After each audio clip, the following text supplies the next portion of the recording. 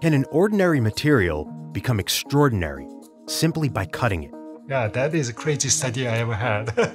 Whittled down to the smallest possible slivers, what was brittle gains super strength, becomes more conductive than gold. Physicist Philip Kim's colleagues were skeptical.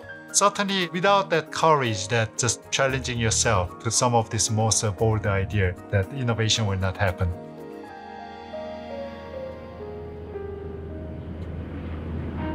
In more ways than one, the laws of physics took Korean born scientist Philip Kim from the University of Seoul to Harvard and then to Columbia University for his first faculty position.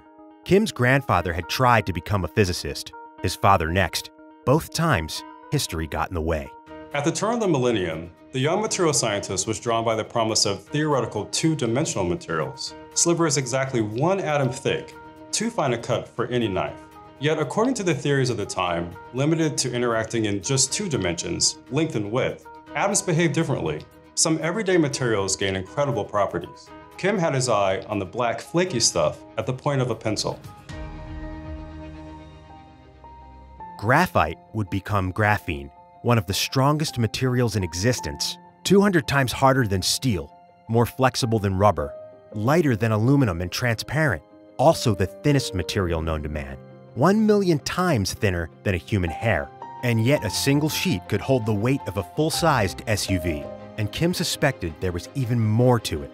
He prepped his lab, committed himself to graphene, beginning research that would take years. Name one thing on your personal bucket list. I want to take the one week completely off. complete, completely off from my email, from my all the duty, and just um, do nothing. will happen someday.